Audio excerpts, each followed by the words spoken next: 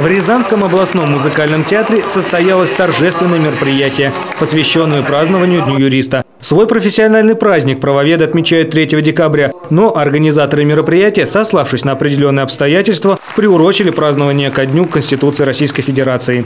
В мероприятии приняли участие представители федеральных и региональных органов государственной власти, руководители представители министерств. Также перед собравшимися выступил глава региона Олег Ковалев.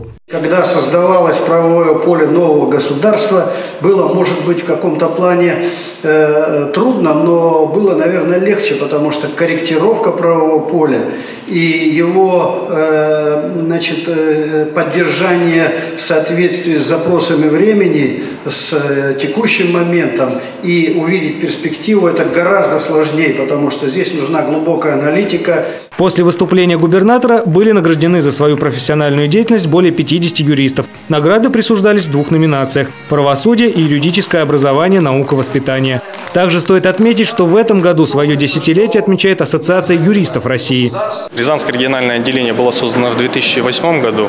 На сегодняшний день мы в, рамках деятельности регионального отделения объединили э, более тысячи юристов Рязанской области. Сейчас активно мы занимаемся по тем направлениям деятельности, которые определены у нас в уставе. Это правовое просвещение, это оказание бесплатной юридической помощи, это антикоррупционная экспертиза проектов нормативно-правовых актов. В России профессиональный праздник юристы начали отмечать с 2008 года. До этого в России никогда не существовало праздников, посвященных данной профессии. Были лишь праздники для некоторых категорий юристов. Сама же профессия насчитывает около 800 лет своего существования. В Российской Федерации это событие справляют представители таких профессий, как адвокаты, судьи, следователи, прокуроры. Отношение к этому празднику также имеют нотариусы и юрисконсульты. Иван Крестьянин, Дмитрий Ефимов, телеканал «Город».